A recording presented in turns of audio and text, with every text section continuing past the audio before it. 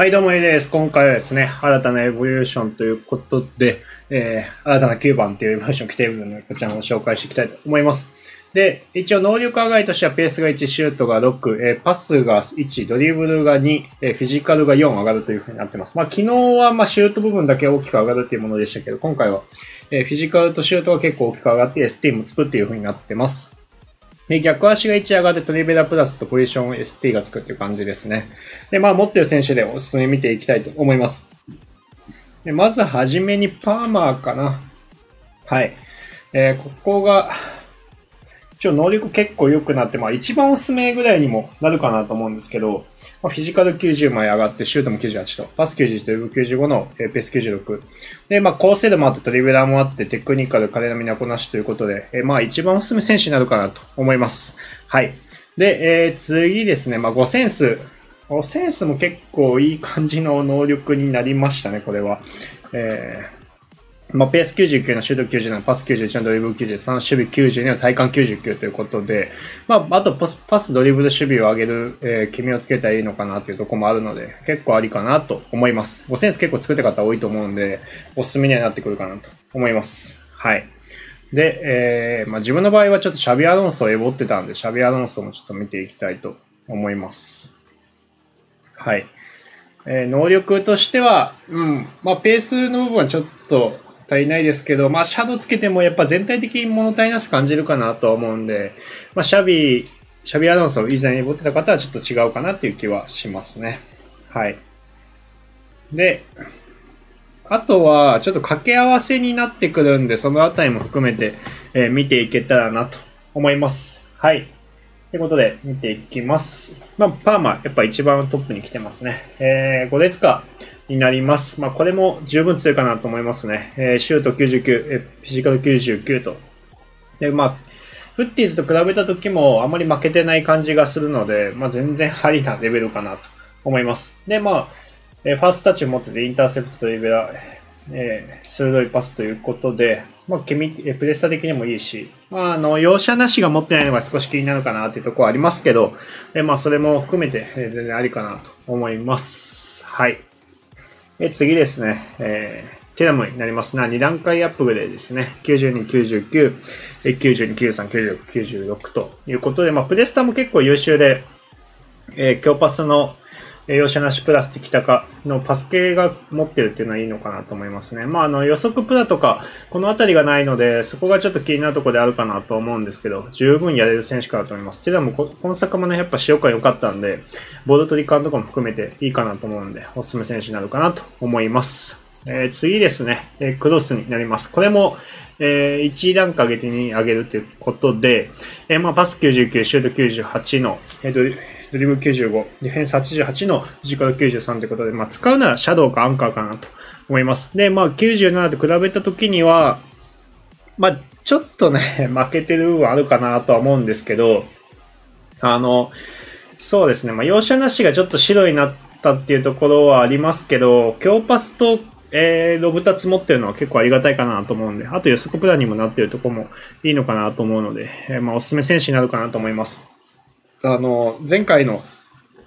えー、名もなきですね。これで、あの、ロナウ、えー、強パスが気になってた方は、こちらクロス作成するのをおすすめかなと思います。はい。えー、次ですね。ビエラになります。これ、まあ3段階上げれるんですけど、まあ能力としてはまあまあ良くなったかなっていう感じですかね。はい。まあ、あの、シュートもパスもドリブルも、フィジカルも今回の方が強いということで、でディフェンス値に関しては正直、あの、名選手は高いですけど、まあもうほぼ完走する数値なんで、シャドウでもいいんじゃないかなと思います。あの、まあ、完全ジャイゴカンビエラーになるかなってとこですね。まあ、ちょっとケミ的、ケミが、まあ、気になる部分はあるかもしれないですけど、まあ、十分ありかなと思います。まあ、プレスタもね、白の部分も含めていいかなと思うんで、あの、守備的な、えー、アンカーが欲しい方はビエラお勧めしたいと思います。はい。で、えー、最後になるんですけど、エミリーになります。まあ、これも普通に強いかなとは思いますね。はい。まあ、プレスタも悪くないですし、まあ、トリビアが自体がね、今回ついても正直どうなのかなってとこは、まあ、全体通して言えるんですけど、まあ、能力としては十分高いかなと思うんで、おすすめかなと思います。で、まあ、自分の中で最終としては、まあ、クロースかな。違いが大きいのとしては、やっぱクロースが正直でかいかなとは思います。まあ、クロースビエだかな。このあたりかなとは思いますね。自分的には。まあ、やるならクロースおすすめかなと思います。ということで、えー、以上になります。よければですね、えー、チャンネル登録、高評価、よろしくお願いします。FC25 でも、えー、情報の方を出していくので、よければ見ていただけたらと思います。それでは、また。はい。ということで、皆さん動画視聴ありがとうございました。最後にですね、えー、転売情報について紹介していきたいと思いますね。FC24 の転売情報ですね。今までまあずっと、あの、同じ動画の使い回しだったかなと思うんですけど、まあ最新の情報になるかなと思います。まあ自分としては今のところトレード収入としては4500万というふうになってます。まあ実質コインで言うと多分3000万ぐらいかな、多分。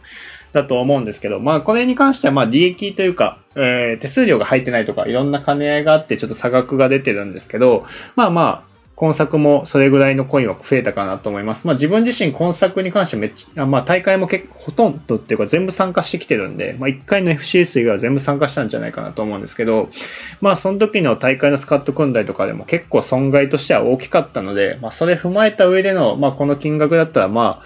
今作もできたかなとは思ってます。一応まあ自分としてはまあトレード収入とかは、え全然オープンにしてるので、まあ皆さんにも結構、まあ X とかで、え載したりとかもしてますけど、あのまあ前作で言うと、まあ5000何百万、え前々作で言うと、え6000万っていう感じでした。で、まあ今作もまあ、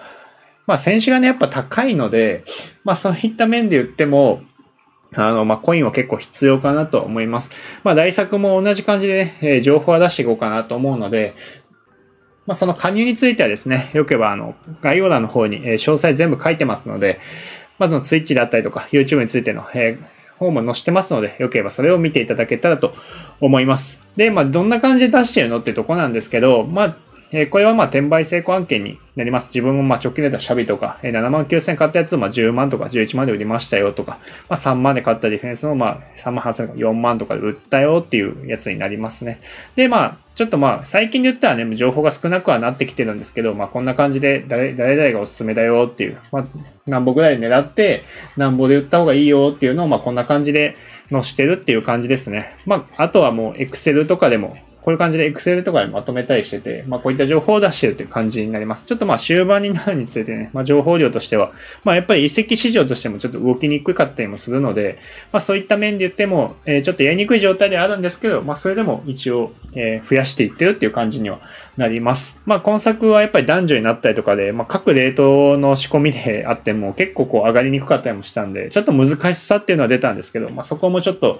工夫しながらですね、対応はできたかなとは思ってるんで、まあ大作も、まあ多分またパターン変わってくるかなとは思うんですけど、まあちょっと今作とか前作、前々作の知識を使ってですね、皆さんにいい転売情報出していけたらなと思っています。FC24 の転売情報ですね。で、まあプレイに関しても、えー、一応対応とかしてて、まあ自分としてはまあランク1だったりとか、まあ FCS で言ったら、まあちょっとオフラインはいけてないですけど、オンラインにベスト16ですね。グループリーグ突破の決勝トーナメントベスト16は3回残ったりとか、っていうのが、まあ一応自分の中での実績ですね。まあアジア大会も出たりとかもありましたけど、まあそういった実績とかもあるので、まあそういった、えー、カスタム戦術とかの共有であったりとか、おすすめ選手とか、エボリューションとかも含めてですね、まあこういな、こういった感じでね、あのー、やってるんですよね。一応まあ、こんな感じで。はい。まあ、このコーチング動画に関してはまた前にも一回出したと思うんですけど、まあ、コーチングしますよっていう感じのやつですね。まあ、こういった感じで募集かけて、またやっていこうかなと思ってるんですけど、まあ、おすすめ選手であったりとか、誰々強いよとかいうのをこういうのに出してるので、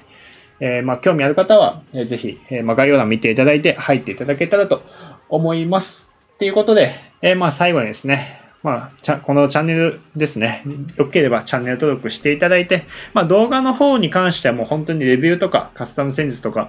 えー、まあプレイのところとかですね、メインに出してるんで、まあ別の情報ですね。まあ、やっぱり、まあこれを特定にしてる関係上、まあこういった FC20 の転売情報とかは、あの、YouTube のコメントとかでは、あの、回答しづらいんですけど、まあ、ライブ配信とかでは、一応ね、もう限られた時にしかやってないので、回答ししてるっていう感じにはなってるんで、よければ、えーそういったところも見ていただけたらなと思います。で、まあ、チャンネル登録も、あの、5000人目指してるってこともあるので、良ければしていただけると嬉しいです。まあ、こういった感じで動画の方もまだ引き続き出していくので、皆さんよろしくお願いします。まあ、ディスコに関しては、えー何度も言うように概要欄の方を見てください。それでは、また。